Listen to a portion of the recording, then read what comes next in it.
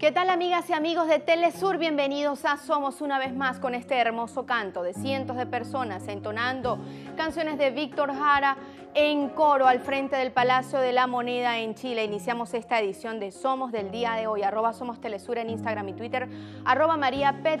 Vamos a invitarlos de inmediato a revisar lo que hemos preparado para ustedes en esta edición de Somos de hoy. Somos, el programa cultural de Telesur, inicia con la información más destacada en los pueblos del mundo. Dos réplicas de alta tecnología de estatuas asirias se exhiben en la Universidad de Mosul en Irak. En Chile, varios actores se pronuncian en contra de las políticas neoliberales impuestas por el gobierno del presidente Sebastián Piñera. Además, tendremos como invitado al filósofo boliviano Juan José Bautista, quien nos hablará de la cuarta edición de la Escuela de Pensamiento Crítico Descolonial.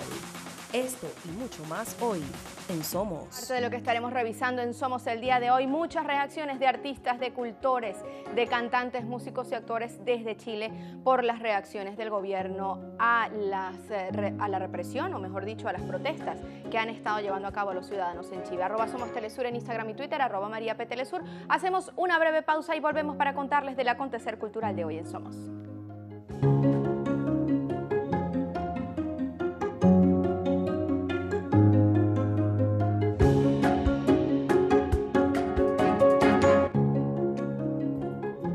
Estamos de regreso en Somos. Iniciamos nuestro recorrido cultural. En esta edición, Irak presenta dos réplicas de alta tecnología de estatuas asirias icónicas de la Universidad de Mosul.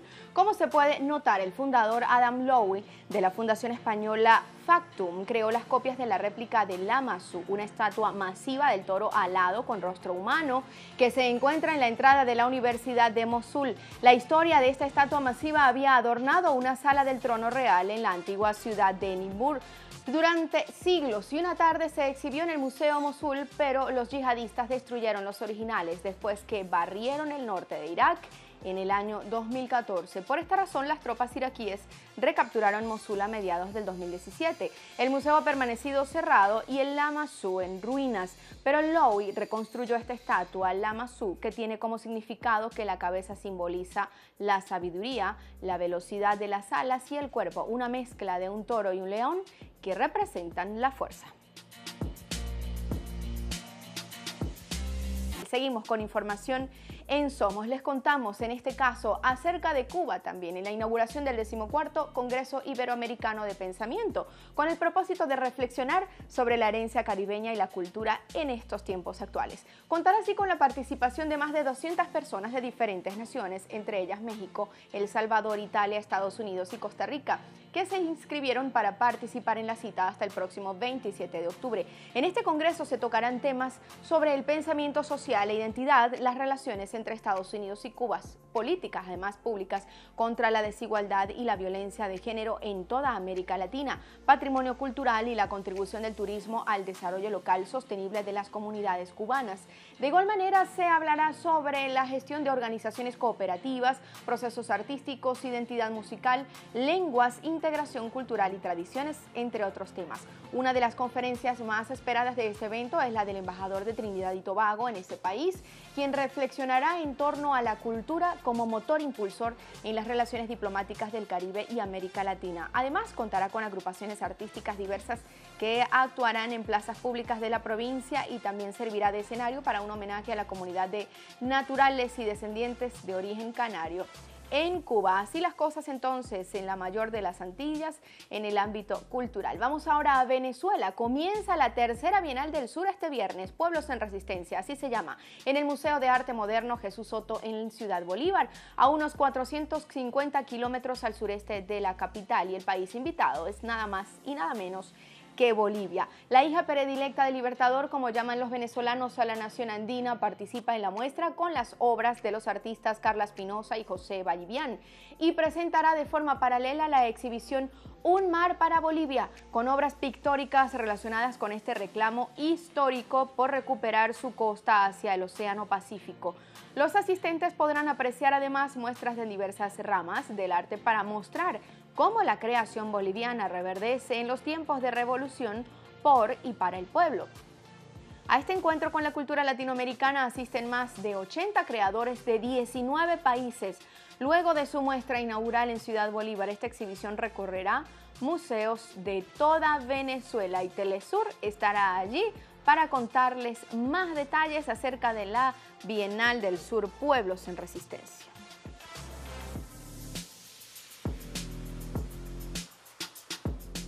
Seguimos en Venezuela. Rinde tributo a la Amazonía con el proyecto coreográfico Naturalia a partir del 12 y 13 de noviembre en la sala José Félix Rivas del Teatro Teresa Carreño en la capital venezolana. Para este evento, Rafael González, el coreógrafo, maestro de danza contemporánea y director de la obra, informó que un equipo conformado por cuatro bailarines, los productores Ronnie Isturiz y Humberto de Jesús y además el artista plástico Robert Cárdenas presentarán la pieza que cautivará al público. Naturalia es un proyecto coreográfico que une las artes plásticas y la danza para brindar un aporte a la profundización de los valores morales, estéticos, espirituales y ecológicos en función de un mejor desarrollo cultural, artístico y ciudadano. También para culminar, el equipo de Naturalia viene o tiene previsto presentar el tributo a la Amazonía en el Centro Cultural Tiuna del Fuerte de la zona del Valle, en zonas como Propatria, Caricuao y Petare de la ciudad capital. Esto entonces se estará desarrollando en la capital venezolana. Aportes por la Amazonía. Nos vamos ahora a contarles acerca de Guatemala. Se realizó un acto privado en el Palacio Nacional de la Cultura donde se hizo entrega a Luis Eduardo Rivera el Premio Nacional de Literatura Miguel Ángel Asturias 2019. Este premio incluye una medalla de oro, dinero en efectivo, un diploma y la publicación de una obra a elección del homenajeado por parte de la editorial Cultura del Ministerio de Cultura y Deportes. La obra de Rivera estará a la venta en la última semana de octubre y se titula Pasado en Blanco. Esta es una serie de cuentos y de relatos en una edición de mil ejemplares. Además, el escritor comentó que una parte del premio sería donado al proyecto Luis de León, ubicada en eh, y que cuenta con una academia comunitaria de arte, una biblioteca y una casa museo. Esto ocurre en Guatemala. Vamos al aire, mejor dicho, vamos a Chile. Allí vamos a estar contando lo que ocurre, el ambiente que se vive con las protestas continuas desde hace varios días en este país suramericano. Continúan estas protestas en contra de las políticas neoliberales impuestas por el gobierno del presidente Sebastián Piñera. También actores y comunicadores se han manifestado con un video que busca interpelar a otros comunicadores para que no hagan alarde sobre la violencia que ha surgido en estos últimos días. Además busca hacerle frente a las injusticias mediáticas que vive el país suramericano. Chile se pronuncia en colectivos de músicos y actores siguen dando su opinión y rechazando las políticas del gobierno de Sebastián Piñera. Vamos a ver. octubre de 2019, miles de chilenas y chilenos cansados de 30 años de abusos llenaron las calles de todo el país con manifestaciones y protestas. El presidente Piñera decidió declarar estado de emergencia y sacar a las Fuerzas Armadas a la calle, provocando una violencia brutal que ha dejado a miles de personas detenidas, cientos de chilenos heridos a bala y decenas de muertos. Una de las principales críticas de la población ha estado en el manejo que han tenido los medios de comunicación en la presente crisis. Soy Janina Frutero y yo no estoy en guerra. Soy Héctor Morales, actor, vivo y trabajo en este país y yo no estoy en guerra. Mi nombre es Paulina Moreno y yo no estoy en guerra. Soy Luis Dubó y no estoy en guerra. Este video es para ti, que trabajas en comunicaciones y estás presente en el día a día de todos los chilenos. Va para todos los que omiten la lucha pacífica por la dignidad y solamente le dan pantalla al caos para generar miedo una vez más. Cuestionen la información que estamos recibiendo. Esto que está pasando en nuestro país no puede continuar. Omitir información también es mentir. Hoy en día tenemos cámaras en los celulares y es muy fácil darnos cuenta de los montajes que están ocurriendo. ¿Por qué replicar la información que nos entregan las fuerzas de orden y seguridad? Hemos vivido varios montajes, como el caso Catrillanca. Si ya nos engañaron con el montaje asqueroso de la operación Huracán. Si vivimos la corrupción generalizada con el Milico Gate y el Paco Gate. Y no queremos más mentiras. Tú también eres responsable por lo que está sucediendo hoy. Hazte cargo. ¿Por qué se quemaron las estaciones de metro si ya estaban resguardadas? ¿Alguien investigó las micros que aparecieron quemadas en el centro, micros que estaban dadas de baja?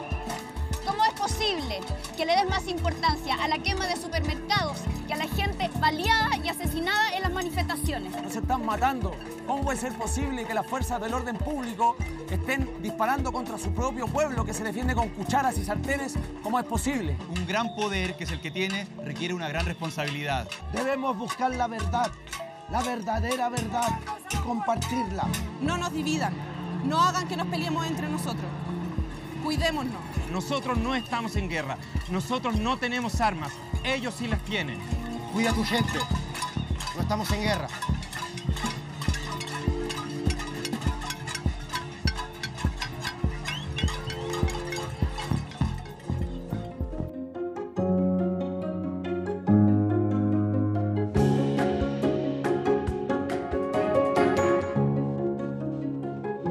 De regreso en Somos y le contamos acerca de la cuarta edición de la Escuela de Pensamiento Crítico Descolonial que se lleva a cabo en Caracas, Venezuela hasta este viernes, hasta hoy.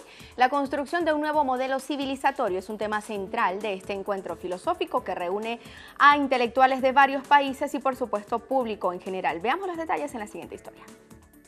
El Centro de Estudios Latinoamericanos Rómulo Gallegos ha sido sede de la cuarta edición de la Escuela de Pensamiento Crítico Descolonial, evento que sirve de plataforma para que pensadores, intelectuales y académicos analicen y reflexionen sobre la construcción de otro modelo civilizatorio en el que los pueblos originarios son columna vertebral. Descolonizarnos es un proceso que en, todo, en toda América Latina o Abya Yala es importantísimo porque las independencias de nuestros países no lograron hacer un proceso de descolonización. Acá no hay un postcolonial en toda América Latina. Esto es eh, un trabajo que lo han eh, liderado los pueblos afrodescendientes e indígenas eh, y por eso es importante que en países como Venezuela, que han echado a andar un proceso revolucionario desde mucho tiempo atrás y en, los, en varios países de Latinoamérica, este proceso de descolonización o los procesos anticoloniales formen parte de los proyectos revolucionarios. La integración de todos los sectores en la construcción de un nuevo modelo que respete la esencia de los pueblos es responsabilidad de todos. Es parte de la educación que se imparte y recibe en todos los niveles y una tarea también de la mujer. Es importante porque está empezando a develar que la apuesta civilizatoria moderna es una apuesta de muerte, que además eh, tiene como referente eh, los patrones de dominación hacia un primer otro cercano en Occidente que son las mujeres. Entonces, eh, por ejemplo, toda la cacería de brujas que se hizo en el siglo XV en Europa con dispositivos de dominación basados en el principio del aniquilamiento, luego fueron transferidos en el proceso colonial ya no solo a las mujeres, sino a poblaciones enteras como las poblaciones amerindias. Por eso yo desde esta posición lo que planteo es que hay un proceso de feminización del indio un proceso colonial que atraviesa el cruce entre racialización y feminización. Entonces, claro que es pertinente para entender los procesos de opresión de las mujeres racializadas hoy en día. En el evento, organizado por el Centro de Estudios para la Descolonización Luis Antonio Bigot, participan Ramón Grosfogel, de Puerto Rico, Karina Ochoa, de México, Juan José Bautista, de Bolivia, Aure Butorja, de Francia, Aura Cumes, de Guatemala y Javier García, de España. Encuentro que fomenta el compromiso de los jóvenes en la construcción de una nueva sociedad. La excusa histórica de la descolonización sirve y es vital para nosotros, la juventud que está territorializada eh, frente a estos eventos en donde, bueno, nada, los humanos que resistimos los embates del capitalismo tardío en, en estas fronteras que nos toca como vivir, eh, es de una importancia sustancial porque es la oportunidad de poder hacer un interrogatorio a la historia sobre eso que no conocemos, sobre ese pasado que está tan lejano, pero que sucedió en este territorio en otro tiempo. Poetas y cultores asisten a la cuarta escuela de pensamiento descolonial. Reiteran la importancia de un modelo educativo emancipador. Es considerable entendiendo que es una labor y una tarea que tenemos que empeñarnos en llevar a cabo, que es la de describirnos, la de encontrarnos, la de emigrar hacia adentro eh, desde un punto de vista identitario como, como alma, como pájaro, como seres que más allá del pensamiento estrictamente cartesiano, lógico, etcétera, tengan que ver con una estructuración, pudiésemos decir, distinta. Es complicado, es complejo, hay todo un entramado eh, que tiene que ver con un pensamiento lógico de colonial, que es donde está el maestro Dussel, y donde hay una serie de conceptos que conviven con, la, con, con ese pensamiento. La deconstrucción del pensamiento que por siglos ha dominado nuestros pueblos es un elemento imprescindible al rumbo hacia un nuevo modelo civilizatorio, lema principal de la cuarta escuela de pensamiento crítico descolonial, que cada año se reúne en octubre en Caracas, capital venezolana. Estamos de vuelta en tan solo segundos para conversar con el señor Juan José Bautista, filósofo boliviano, a propósito de la cuarta escuela de pensamiento descolonial. Ya volvemos.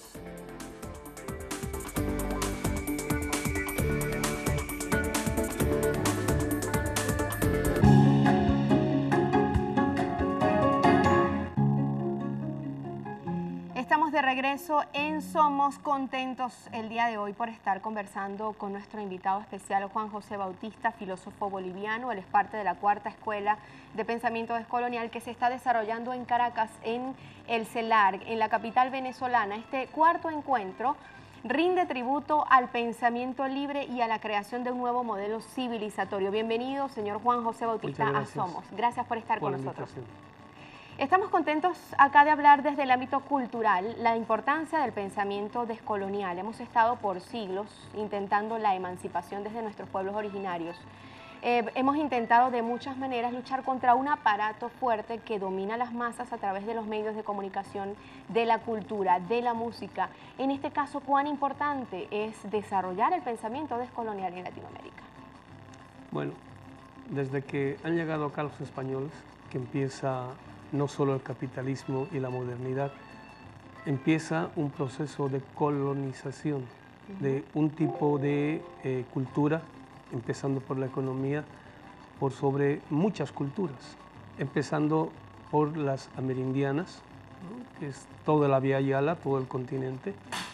Después de ello, inmediatamente es a la esclavización, negación, transterritorialización de pueblos y pueblos afros del África, traídos como esclavos a este continente y otros lugares, e inmediatamente también, de modo paralelo, es la destrucción de todas las formas de vidas rurales en Europa durante un proceso largo, más o menos 30, 50 años, que se dio lo que se llama la guerra de los campesinos.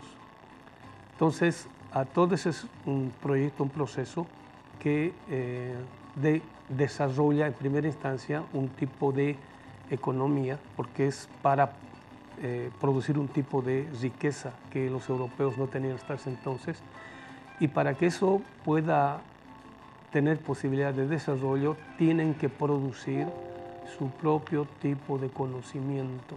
Entonces, cualquier tipo de historia de la cultura siempre va a mostrar que cualquier pueblo, cultura, o civilización para poder desarrollarse tiene que producir todo su sistema de conocimiento, todo un aparato pedagógico que empieza desde, siempre decimos, desde la producción del alimento y se eleva hasta las formas más sofisticadas, digamos como el ámbito de la ciencia, la filosofía y hasta la mística. ¿no? Entonces, gracias a eso es que un pueblo, cultura o civilización puede desarrollarse, de lo contrario es imposible. Entonces, los europeos colonizadores, para poder desarrollarse, también tuvieron que producir su propio conocimiento, en este caso, la ciencia moderna y la filosofía moderna, la economía moderna, la política moderna, la cultura moderna, etcétera, etcétera. Para poder producir eso, tuvieron que negar, rechazar, inferiorizar, racializar todos nuestros horizontes culturales e históricos. ¿no? Impedir sistemáticamente su desarrollo. Y esto empezó primero con la quema de nuestros textos sagrados, digamos los grandes códices, hay cualquier cantidad de evidencia al respecto, que eran libros comparables a, los de la Biblia, por decir así, milenarios, con una sabiduría ahí contenida, no de, no de siglos, sino de, de milenios primero. Y después de eso, este, la sistemática o el sistemático asesinato de nuestros grandes sabios, de nuestros grandes académicos, de nuestros grandes filósofos. ¿no? Siempre comento esta, esta noticia de que ah, en las riberas del lago Titicaca hay varios pueblos cuyas iglesias tienen como cimiento los cráneos de grandes sabios tramaltín este, amautas, ¿no? y bueno, los grandes místicos que eran los chamacanis. Entonces ahí están todos, todos los seres, entonces a todos nuestros grandes pedagogos, por decir, filósofos pensadores, cortaban la cabeza y este, los, los destruían nuestras instituciones pedagógicas y el resto quedaba como mano de obra, comparable a la de los esclavos. Entonces, con imposibilidad de poder desarrollar nosotros nuestras propias instituciones pedagógicas y o culturales. Entonces, en ese contexto, que es mínimamente cuatro siglos, los europeos pueden desarrollarse cognitivamente hablando y nosotros no.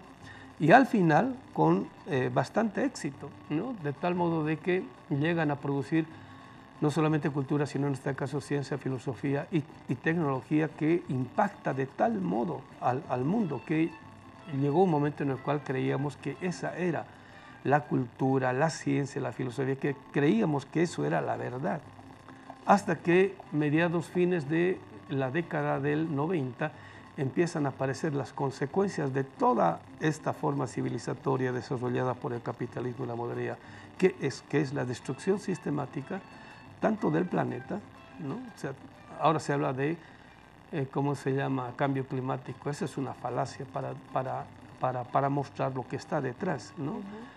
Está siendo explotada la naturaleza a tal modo que ella ya nos resiste, entonces ella empieza a actuar eh, de modos eh, críticos, ¿no? Hay un cierto tipo de ciclos que se han roto completamente. Y encima de eso, nunca, ninguna civilización produjo sistemáticamente tanta acumulación de miseria a escala, a escala mundial.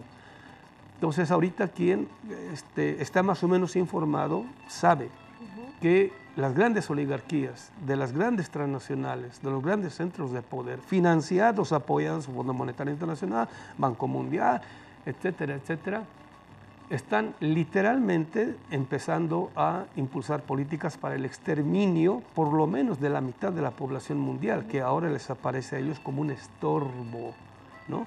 porque los recursos se, están acabando y entonces los digamos, privilegiados del primer mundo no quieren perder el privilegio de tener acceso a los bienes de consumo, a los mejores del planeta.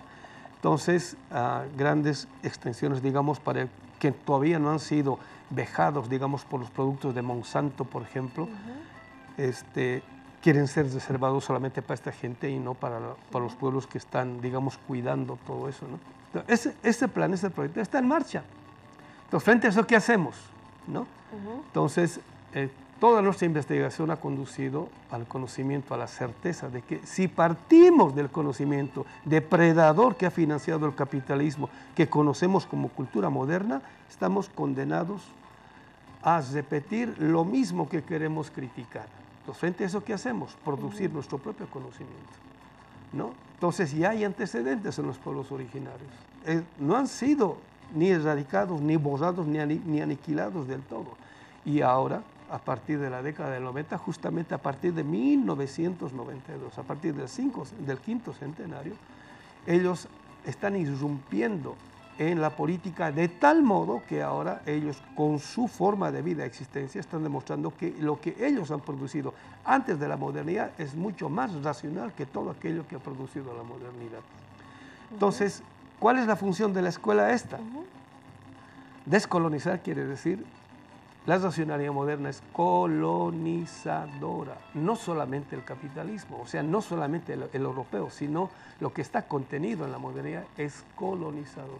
Entonces, si esa racionalidad, que no es toda la razón, es colonizadora, entonces hay que producir otro tipo de racionalidad que ya no parta ni de la tradición eurocéntrica. Eurocéntrica quiere decir creer o pensar ingenuamente que Europa es el único núcleo a partir del cual se puede producir técnica, ciencia, ideología, cultura, etcétera, etcétera, que es helenocéntrica, que quiere decir que la civilización o lo que es humano parte de Grecia. Eso es falso. O sea, ahora tenemos cualquier cantidad de evidencia histórica para poder demostrar eso.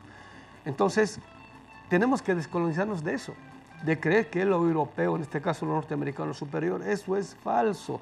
Tenemos que, o sea, descolonizarnos de todo eso, o sea, volver a lo que nosotros también en parte hemos negado, porque también nosotros negábamos a nuestros pueblos originarios como indios, trazados, etcétera, etcétera. Pero la, ahora la evidencia empírica está demostrando exactamente lo contrario, que, los, que la fabricación sistemática de barbarie es la modernidad. Para concluir, eh, profesor, Em, entonces, hacernos de nuestra propia cultura e identidad es importante en este proceso de pensamiento descolonizador. Las personas que han estado informándose, que quieren informarse más y estar de alguna manera ser parte de esta escuela descolonizadora, ¿de qué manera lo hacen?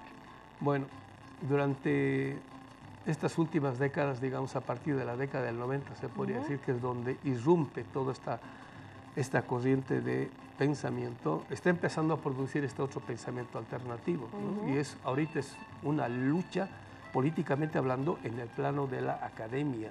O sea, la academia, inclusive la nuestra, es obvio que la europea norteamericana sigue siendo tradicional, digamos, ¿no? Este, funcional al sistema. Pero inclusive las, nuestras universidades siguen teniendo, siguen repitiendo ese tipo de currícula pensando que, afirmando que, difundiendo que, digamos, la ciencia moderna es la ciencia. Ahora tenemos cualquier cantidad de argumentos para demostrar que eso no es así. Entonces, eso implica producir otra idea de ciencia, otra idea de filosofía, que es lo que estamos desarrollando, y hay bastante material. Entonces, ah, la escuela de colonial está no solamente acopiando todo eso, digamos, produciendo un tipo de material, sino un espacio en el cual eh, no es solo de difusión de eso, sino de producción de, eso, ¿no? Porque en espacios como estos nosotros podemos desarrollar lo que estamos trabajando, es un poco lo que digo, cada vez que me invitan acá es como si me pusiesen a eh, dar un examen de todo lo que he trabajado el año pasado. Entonces vengo y lo concentro en estas pocas conferencias que uno puede dar y entonces ahí es donde empezamos a desarrollar. ¿no? Bueno, ahora estamos en la, en, la, cuarta versión, esperamos que esto siga adelante, pero a mí lo que me place, me complace es que en un proceso como el bolivariano, bien chavista, bien comunitario, bien comunal, está agarrando carne, o sea, estas ideas como un poco dice la Biblia, ¿no? El verbo se hizo carne. O sea, esta palabra, este conocimiento se está encarnando en gente que está impulsando un proceso como este. Y por eso está irrumpiendo a nivel no continental, sino mundial. El, apoyo de los no alineados a Venezuela, eso no es casual.